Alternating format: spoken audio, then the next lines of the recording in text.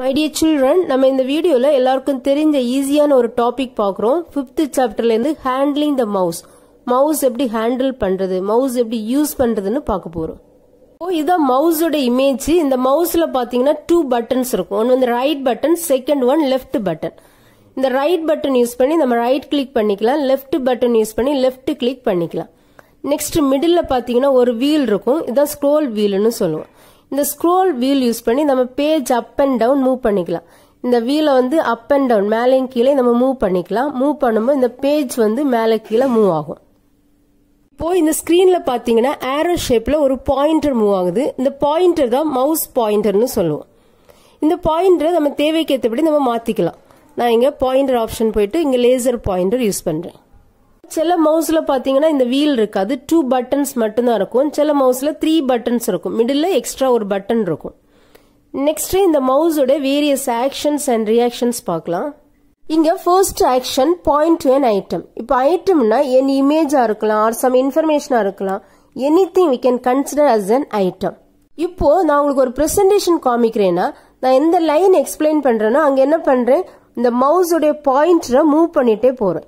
அதான் point item அதோட reaction என்னது? Move the mouse pointer over the item next second one click இப்போ இந்த மவுஸ்ல பாத்தீங்கன்னா டூ பட்டன்ஸ் இருக்கு. ஒன் வந்து left button second one right button இப்போ இந்த லெஃப்ட் பட்டனை நம்ம ஒன்ஸ் பிரஸ் பண்ணி ரிலீஸ் பண்றதான் கிளிக்னு சொல்லுவோம்.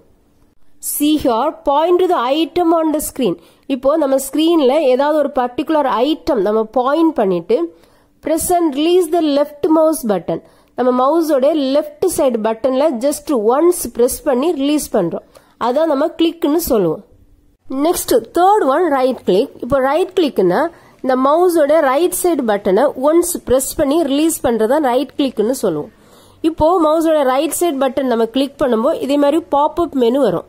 இந்த பாப்அப் மெனுவில் வேரியஸ் ஆப்ஷன்ஸ் இருக்கும். இதில் நமக்கு தேவையான ஆப்ஷன் நம்ம செலக்ட் பண்ணி நம்ம யூஸ் பண்ணிக்கலாம். அதுக்கு என்ன பண்ணணும்னா மவுஸோட right side button just once press பண்ணி ரிலீஸ் பண்ணணும். Here point the item on the screen இப்போ ஸ்க்ரீனில் ஏதாவது ஒரு ஐட்டம் பாயிண்ட் பண்ணிட்டு press and release the right mouse button நம்ம மவுஸோடைய ரைட் சைடில் இருக்கிற பட்டனை ஒன்ஸ் ப்ரெஸ் பண்ணி ரிலீஸ் பண்ணுறோம் அதான் ரைட் கிளிக்னு சொல்லுவோம். ஹியர் அந்த ரைட் கிளிக் பண்ணும்போது என்ன நடக்கும்னு சொல்லியிருக்காங்க.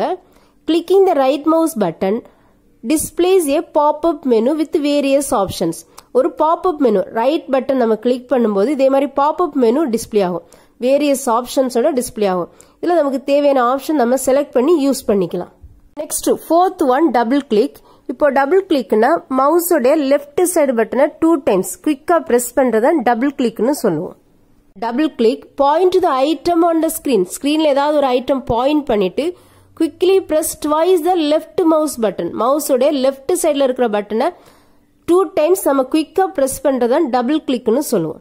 Next one drag and drop நம்ம எப்போ இந்த ட்ராகன் அண்ட் ட்ராப் யூஸ் பண்ணுவோம்னா இப்போ நம்ம இந்த ஸ்க்ரீனில் ஏதாவது ஒரு பேராகிராஃப் செலக்ட் பண்ணி காப்பி பண்ணி பேஸ்ட் பண்ணாலோ இல்லை டெலீட் பண்ணாலோ நம்ம என்ன பண்ணுவோம்னா அந்த மவுஸை அந்த டிசைர்டு பொசிஷனில் கொண்டு போய் ஸ்டார்டிங் பொசிஷனில் கிளிக் பண்ணுவோம்.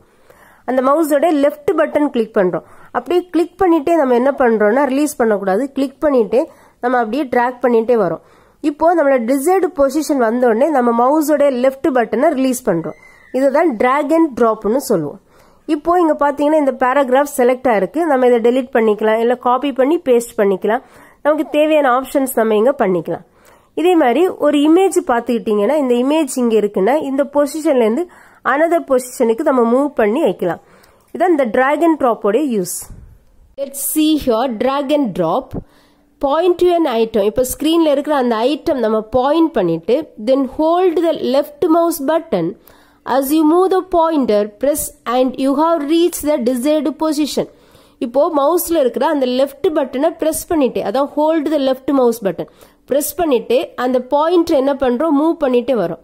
இப்போ நம்மளோட டிசைர்டு பொசிஷன் வந்துச்சுன்னா அந்த பாயிண்ட் டிசைர்டு பொசிஷன் வரைக்கும் நம்ம மூவ் பண்ணிட்டோம்னா அந்த லெஃப்ட் பட்டனை நம்ம என்ன பண்றோம்? ரிலீஸ் பண்றோம். அதான் release the mouse button release the left side of the mouse button இதெல்லாம் தான் மவுஸோடைய வேரியஸ் ஆக்ஷன்ஸ் அண்ட் ரியாக்ஷன்ஸ் இங்க ஃபைவ் ஆக்ஷன்ஸ் அண்ட் ரியாக்ஷன்ஸ் கொடுத்துருக்காங்க. First one point one an item இப்போ ஸ்கிரீன்ல இருக்கிற ஏதாவது ஐட்டம் மேலே மவுஸோட பாயிண்டரை மூவ் பண்றதா? Point to an item second one click இப்போ மவுஸோட லெஃப்ட் சைடு பட்டனை ஒன்ஸ் ப்ரெஸ் பண்ணி ரிலீஸ் பண்ணுறதான் கிளிக்னு சொல்லுவோம். ரைட் கிளிக்னா மவுஸுடைய ரைட் சைடு பட்டனை ஒன்ஸ் ப்ரெஸ் பண்ணி ரிலீஸ் பண்ணுறது ரைட் கிளிக்னு சொல்லுவோம். நெக்ஸ்ட் டபுள் கிளிக் டபுள் கிளிக்னா மவுஸுடைய லெஃப்ட் சைடு பட்டனை டூ டைம்ஸ் குயிக்காக ப்ரெஸ் பண்ணுறதான் டபுள் கிளிக்னு சொல்லுவோம். Next fifth one drag and drop drag and ட்ராப்னா மவுஸோடைய லெஃப்ட் பட்டனை நம்ம ஹோல்டு பண்ணிட்டு ஒரு பொசிஷன்லேருந்து நம்மளோட டிசைர்டு பொசிஷன் வரைக்கும் மவுஸ் பாயிண்டரை ட்ராக் பண்ணி அப்புறமா ட்ராப் பண்றதான் டிராக் அண்ட் ட்ராப்னு சொல்கிறோம் தேங்க்யூ சில்ட்ரன்